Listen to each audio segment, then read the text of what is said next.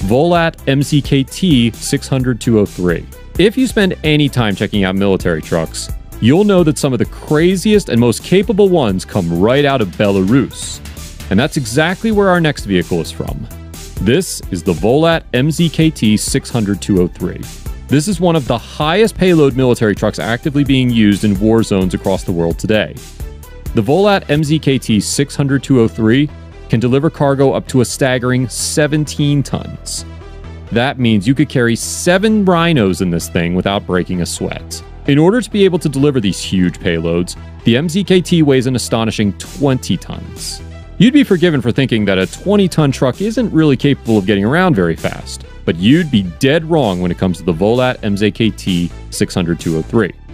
This beast of a vehicle features a 520 horsepower Caterpillar C13 engine and hits incredible top speeds of up to 65